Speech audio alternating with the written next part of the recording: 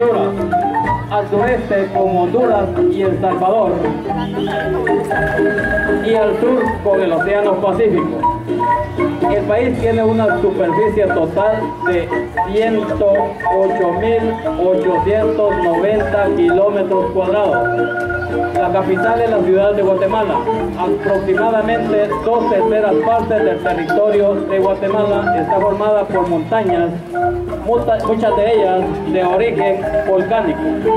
Las tierras altas comprenden dos cordilleras paralelas, la tierra de los Puchumatanes y la tierra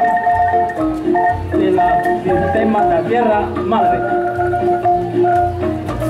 continuación de la cordillera mexicana del mismo nombre que atraviesa Guatemala de oeste a este y divide el país en dos mesetas de extensión desigual.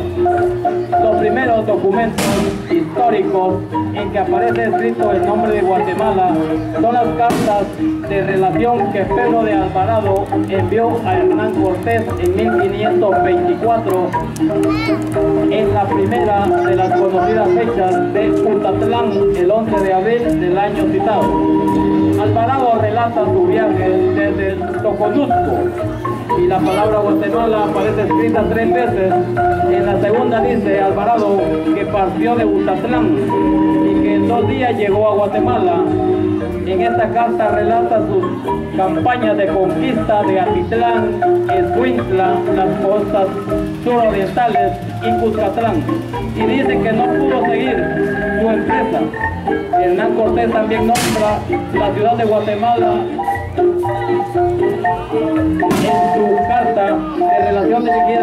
Carlos V y fechada en México el 15 de octubre del mismo año, de 1524.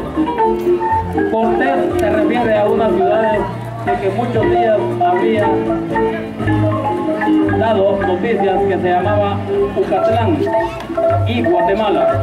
En tres cartas citadas el nombre de Guatemala se describe de la misma manera en que se hace ahora y que seguramente es la castellanización del vocablo guatemalano, lugar de muchos árboles de origen nahual, que era el nombre con el que conocían la ciudad y nación cachiquela, los auxiliares mexicanos que acompañaron a Alvarado y a Cortés en el siglo XVI. No hubo problemas al escribir el nombre de Guatemala, aunque en algunas cartas del Cabildo de Santiago en el libro viejo se escribe Guatemala. Guatemala es la república que ha pasado diferentes periodos históricos. Sus primeros habitantes crearon la cultura maya, posteriormente fue sacudida por la guerra ocurrida en la conquista española en el siglo XIX, luego se independiza junto al resto de Centroamérica, la cual fue sucedida por guerras entre conservadores y liberales que llevarían la desintegración de la Federación Centroamericana. Aplausos, por favor, para la cerca de, de Guatemala.